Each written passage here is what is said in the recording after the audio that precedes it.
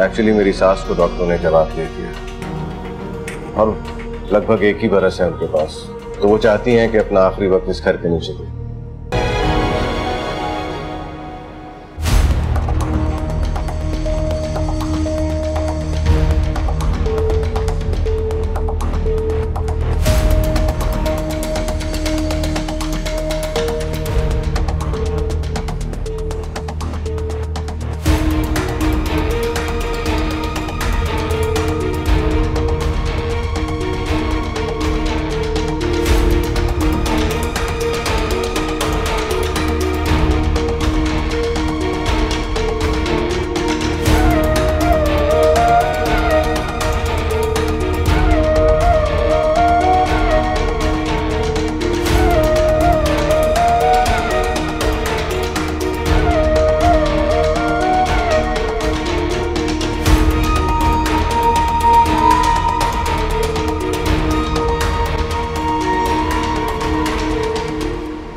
घर तो आपका माशाल्लाह बहुत अच्छा है। और हमें पसंद भी आया बहुत।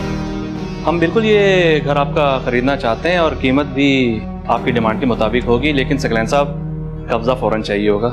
एक साल की लॉजिक हमें समझ में नहीं आई।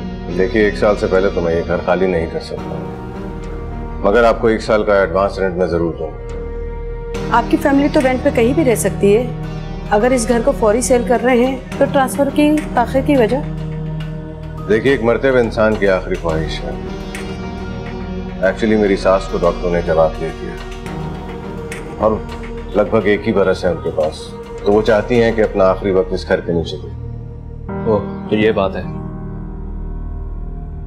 ये घर बेचना मेरी बहुत मजबूरी है। दरअसल वक्तन फवक्तन उनके इलाज के लिए पैसे दरकार होते हैं। और ना ये घर हम कभी भी ना बेचते। वका साहब आप तो वैसे ही मुल्क से बाहर रहते हैं। और अगर कब्जा मिल भी गया तो आपने लॉक लगा के फिर दोबारा बाहर चले जाना है। और एक साल तो यूँ ही गुजर जाएगा।